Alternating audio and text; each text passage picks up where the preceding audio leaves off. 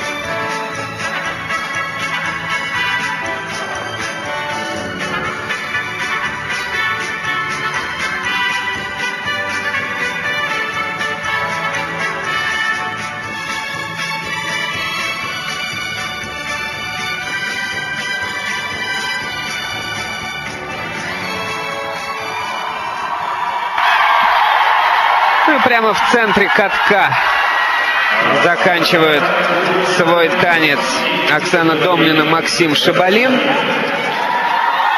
Как же было сказано в начале трансляции, для таких высоких, статных спортсменов не очень-то простой танец.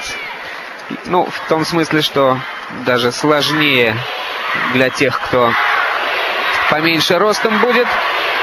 Выполнен, конечно же, в стиле. Спортсмены настолько опытные, что искусство перевоплощения, ну, тем более в обязательном танце, для них это вполне э, задача по плечу.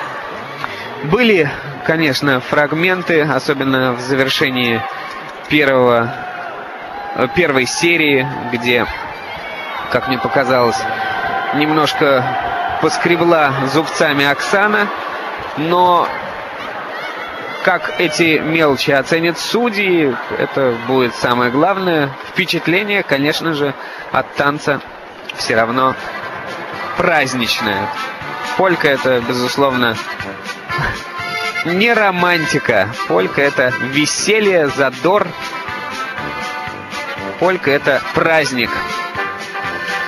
Вот такой вот танец в свое время придумали американские спортсмены Джуди Швамайер и Джеймс Сладки вместе со своим тренером Джоном Ледингтоном. Через два года исполнится 40 лет этому танцу.